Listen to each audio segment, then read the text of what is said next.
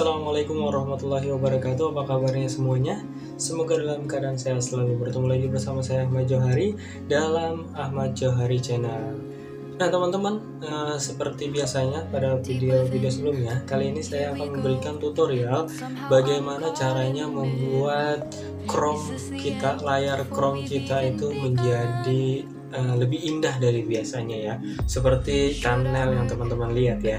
Caranya gampang banget teman-teman uh, ikutin aja nanti langkah-langkahnya. Dan jangan lupa untuk melihat bahan-bahannya di description box atau link-linknya yang nanti akan uh, kita gunakan dalam tutorial ini ya. Nah, sebelum kita masuk dalam videonya, buat teman-teman yang baru bergabung dalam channel ini atau yang baru mampir jangan lupa untuk subscribe channel ini. Dan apabila bagus jangan lupa untuk di like juga.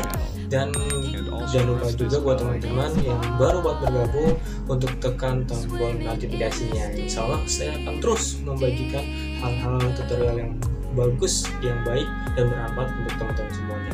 Oke deh tanpa berpanjang lebar langsung aja kita masuk ke video tutorial Oke guys langsung aja kita mulai video tutorialnya. Yang paling pertama yang harus kalian persiapkan yaitu adalah bahan-bahannya ya. Bahan-bahannya sudah ada di link description box dalam video ini. Jadi teman-teman tinggal lihat aja di deskripsinya. Oke saya contohkan langsung ke sini ya. Nah tinggal kalian download aja link yang sudah tersedia di description boxnya. Nanti dia akan proses di sini teman-teman ya. Oke kita coba langsung lihat ya tampilkan dalam folder lalu kita X kita cut. Lebih gampang ke desktop aja ya. Kita cut ke sini lalu kita apa nih namanya? Kita ekstrak kita ekstrak here Nah, nanti di sini akan ada tema Chrome-nya ya. Nanti akan ada tema Chrome yang Google Chrome-nya dan yang kedua tema yang naik tab-nya ya. Atau yang Oke teman-teman, ketika teman-teman udah download bahannya, mana tadi ya bahannya ya, ada di desktop. Oke, ketika teman-teman udah download bahannya, langsung kita pergi ke Chrome-nya, lalu kita tambah di sini diri buka oh ini udah langsung settingan saya ya. Jadi langkah yang selanjutnya nih kalau misalkan tabsnya ini masih apa namanya tuh masih biasa ya masih biasa itu teman-teman klik naik tab. Nah lalu pergi ke Chrome. Nah nanti di Chrome teman-teman di sini ada yang namanya uh, add to Chrome ya ini kan sudah remove. Nah remove kayak gini teman-teman jadinya ya. Nah ketika nanti kayak gini teman-teman klik naik tab lalu cari naik tab ya. Nanti akan model tampilannya kayak gini teman-teman yang banyak ya. Nah yang lainnya teman-teman bisa cari di alamat ini ya. Di alamat uh, Chrome uh, web web store-nya ya. Jadi banyak nanti di sini bisa ekstensinya untuk apa ya tadi ya, untuk Chrome ya, untuk tema Chrome-nya ya. Oke, kita ulangi di sini ya. Tadi ke back naik tab. Oke, jadi klik naik tab di sini. Nah, nanti mungkin linknya akan saya kopikan dan saya berikan di bagian description box ya. Jadi nanti kalau teman-teman mau yang berbeda dengan saya silakan ya. Jadi tinggal di add aja caranya langsung. Nanti tinggal tambahkan ekstensi. Ya kalau sudah nanti udah akan muncul tanda kayak gini ya. Oke di sini kita tanda plus dan dia sudah berubah teman-teman. Untuk dari Google uh, Chrome kita. Ini tampilan Google Chrome saya ya yang terbaru kayak gini teman-teman. Nah di sini adalah settingan dasarnya dari Google Chrome kita yang dalam tema native ini. Jadi kita bisa atur di bagian setting ini teman-teman yang mulai dari size ukurannya terus areanya gitu. Kita bisa nih saya kan bisa kelihatan tuh ya. Ini dikecilin size nya terusnya areanya bisa disempitin atau dibesarin. Oke tapi saya ada di tema menggunakan bahan dari tema yang sudah tadi di download ya biar bermanfaat. Jadi pertama teman-teman pergi ke data lalu pilih ke resto ini ya. Dan dia minta file yang namanya .json json. Nah json.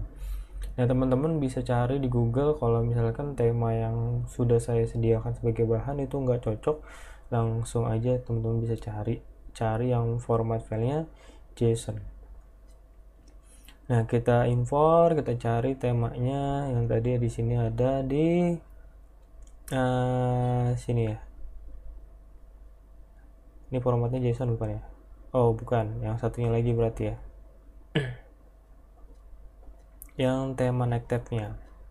Nah, di sini ada banyak nih teman-teman nih JSON ya. Nah, terserah teman-teman mau pilih yang mana.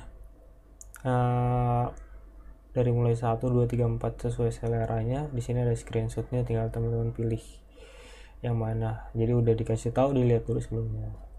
Saya pilih ini. Nah nanti muncullah kayak gini teman-teman. Nah size nya bisa kita atur bisa kita kecilin sesuai dengan keinginan kita. Hmm, karena saya cocoknya ini 75 cukup lah untuk areanya dilebarin ke kanan mungkin biar lebih maksimal. Oke 92 kalau saya. Tergantung layar teman-teman ya. Oke sudah. Di sini ya sudah ada semuanya. Di sini temanya mau warna default. Ini belakangnya teman-teman ya. Mau terang ini bisa teman-teman atur sesuai dengan kesukaan teman-teman ya. Mau font juga ada mau colornya shape juga ada pakai radius juga ada nah, juga ada. Nah saya uh, pengen bagikan sih yang lebih tepatnya ke sini nih teman-teman yaitu adalah ke bagian backgroundnya. Jadi ketika next tabnya di sini sudah kita pilih uh, kita tinggal pilih backgroundnya. Kalau backgroundnya kayak gini aja kan nggak begitu bagus ya teman-teman ya. Nah, jadi warna colornya itu uh, diem aja gitu stagnan kayak gini teman-teman diem aja kan kurang bagus juga ya. Nah jadi saya pengen coba agak yang sedikit bergerak. Jadi pertama kalian pilih background lalu teman-teman pilih di sini bagian yang video ya. Videonya jadi kita visualisasi belakang backgroundnya pakai video Nah, di sini dia membutuhkan untuk file, filenya itu adalah http dan belakangnya ini .mp4. Nah, cara yang kamu buat teman-teman bisa cari aja di bagian YouTube terserah. Ini saya ketik dengan kata kuncinya video pemandangan alam bergerak. Nah, cari yang pendek-pendek aja teman-teman ya. Seperti ini, ini pendek nih. Baru Garnier Men Power White Tissue Mask. Wajah langsung cool, cerah seketika. Garnier Men Power White Tissue Mask. download yang ini aja ya.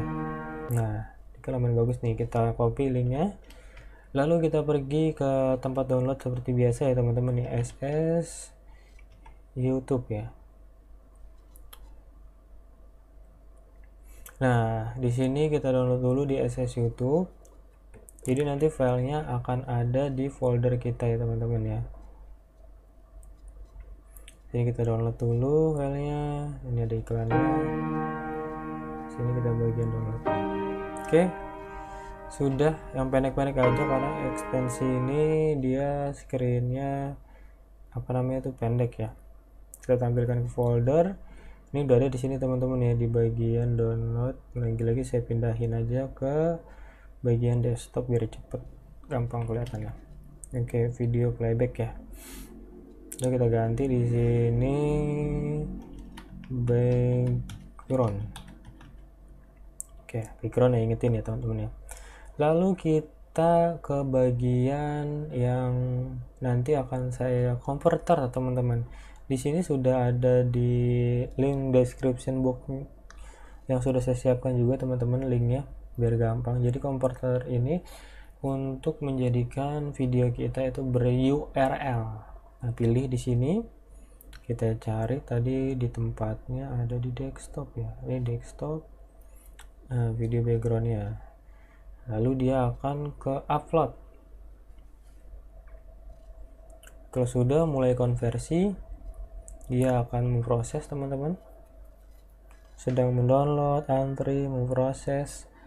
Nah nanti kalau udah selesai selesai semuanya. Ya nah kalau udah sampai sini berarti udah selesai lalu kalian teman-teman download aduh tuh jadi dua kali downloadnya tuh ya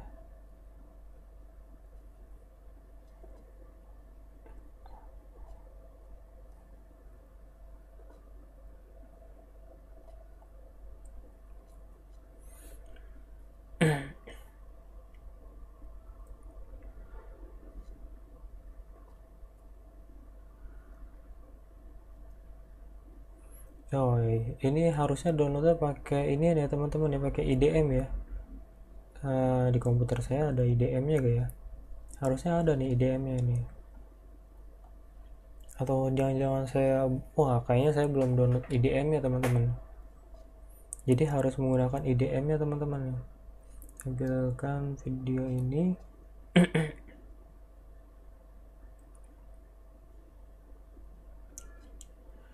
kita tampilkan IDM nya ya. Oh, saya belum download IDM nya nih teman-teman ya. Jadi nggak bisa kelihatan untuk vid untuk apa? Untuk URL nya ya teman-teman ya. Jadi karena URL nya itu ada di IDM nya teman-teman ya. Ada di IDM nya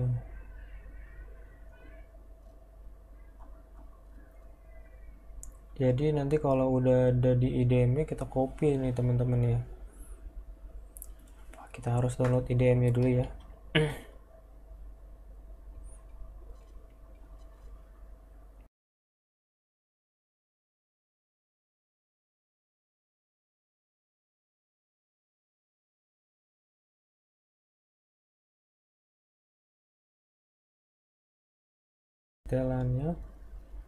uh, mohon maaf bukan setelan tapi di lainnya atensinya oke di sini sudah ada ya. Sudah ada. Nah ini neck tab kita ya teman-teman ya udah ada juga. Oke kita coba lagi. Di sini kita download. Nah di sini kan sudah menggunakan IDM ya teman-teman ya. Nah di sini ada URL nya nih teman-teman nih. Ada URL nya teman-teman bisa lihat nih sampai dengan akhir. Nah belakangnya dot mp3 nah jadi teman-teman gak sampai download lagi tapi teman-teman copy aja yang ininya. Karena kita perlu copy URL ininya nih teman-teman. Nah, kalau sudah kita balik lagi Good ke grammar and spelling are important, tadi, but if you want to write essays that inspire, messages that forge Nah, brighter connections, ada teman-teman di belakang and emails that get the job done, you need to think about more than Nah, just grammar and spelling.